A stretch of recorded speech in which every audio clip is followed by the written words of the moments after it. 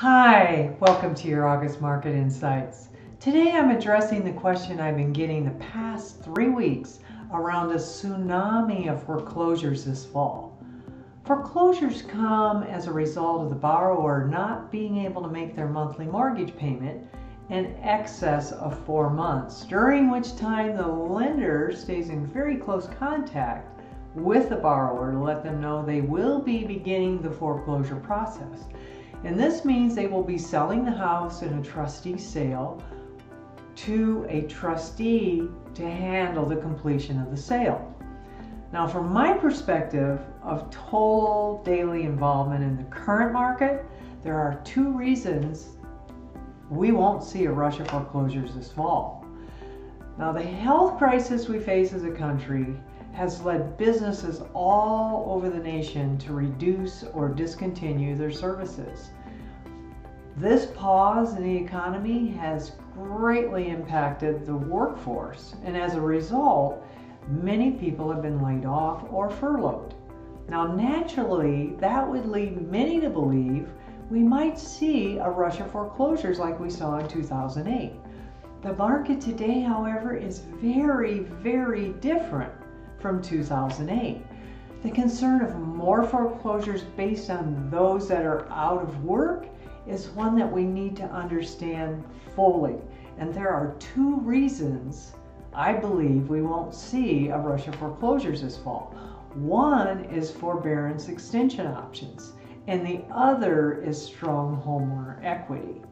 So let's begin with forbearance extension options.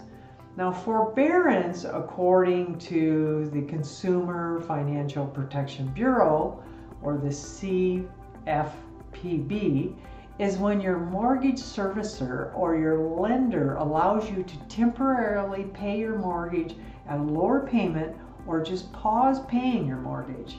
This is an option for those who need immediate relief. In today's economy, the CFPB has given homeowners a way to extend their forbearance, which will greatly assist those families who need it at this critical time. Now, under the CARES Act, the Consumer Financial Protection Bureau, or the CFPB, notes that if you experience financial hardship due to the coronavirus pandemic, you have a right to request and obtain a forbearance for up to 180 days. That's six months. And you also have the right to request and obtain an extension for up to another 180 days for a total of 360 days. That's one year. The second reason this uh, of uh, is a strong homeowner equity that I mentioned earlier. And equity is also working in favor of today's homeowners. This savings is another reason why we won't see, in my opinion, the substantial foreclosures in the near future. Today's homeowners are who are in forbearance actually have more equity in their homes than what the market experienced in 2008. The Mortgage Monitor report from Black Knight, see that chart there, indicates that all active forbearances, which are past due on their mortgage payment, 77% have at least 20% equity in their homes. That's amazing. This high level of equity provides options both for the homeowners, for the policymakers, and for the mortgage investors and servicers to help avoid a downstream foreclosure activity and any type of default losses. That's right from Black Knight.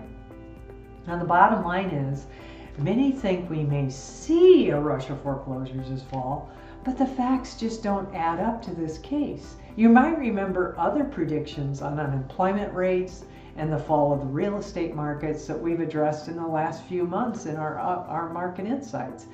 Today's real estate market is very, very different from 2008 when we saw many homeowners just walk away when they owed more than their homes were worth. This time, equity is stronger and plans are in place to help those that are affected most dramatically to weather the storm.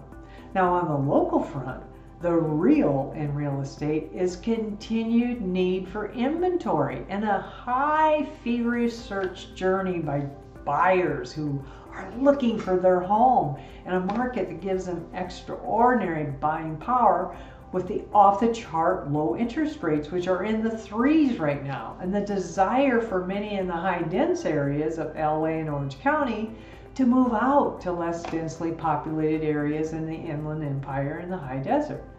So, for you contemplating selling, know that the values have gone up just from May to June this year 4.6%, which is an amazing month to month increase.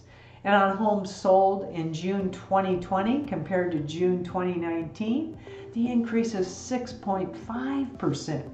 You may or may not remember that my forecast last fall for 2020 increase was 2.5 to 4% for the year. As you can see from the inventory chart, the months of inventory dropped to 1.2 months, the end of June, or 60% less than what was available at this time last year. So reach out to get tips and guidance as you contemplate moving on to your next destination, either in California or beyond, to make that transition with more clarity, with more ease, and with more peace.